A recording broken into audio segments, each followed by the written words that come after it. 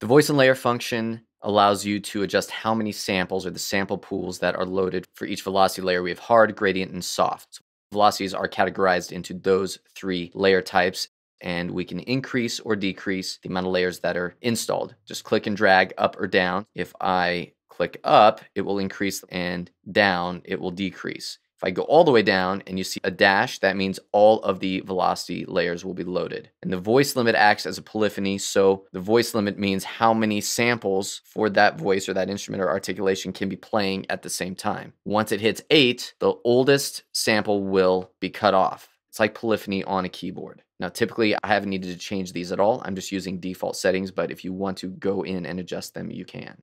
We have the humanized functions. These you can leave alone as well, but basically it will add realism to the incoming MIDI, randomizing hits using adjacent layers, so pulling in samples from adjacent layers depending on what's available. Alternate hits, some libraries use alternate hits, right left hits, and velocity to volume, which will try to take the incoming velocity and match it with samples that are relatively close in that volume as well. So this just adds to the realism of the Superior Drummer 3 engine. Reverse is a new effect that allows you to to reverse sample. So you can get some reversed sample effects. And we can adjust the reverse time, make it quick or slow.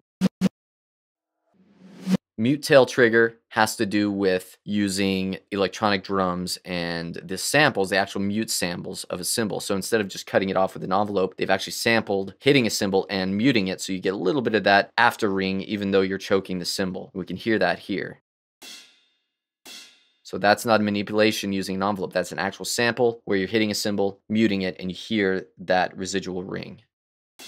MIDI mapping has to do with the actual mapping of the E-drums. As I click on different drums, you'll see the notes and the related articulations and what they're mapped to. You can show them as numbers or as keys, and you can even bring up the MIDI mapping keys. So here you can customize your MIDI mapping. We'll talk about this in another video. So you can customize mapping very easily. You can do MIDI learn and we can go into our eDrums settings. Hi-hat CC offset. If I select the hi-hat, this has to do with electronic drums. You can adjust the response. So if your electronic hi-hat controller is not adjusting correctly, when you're opening it, you don't get an open sound or you're getting an open sound too soon, you can adjust all of the levels and the transmutation between the different articulations of the hi-hat. And lastly, we have the MIDI monitor. As I play a groove, you'll see that incoming MIDI. So this just allows you to see what's happening with note off, note on. It's very helpful, especially when you get into mapping and e-drums and those kinds of functions. I'm using that with the hardware controller, but if I want to play MIDI and see what's happening there, I can select show internal MIDI, which means it'll show MIDI happening from my song track.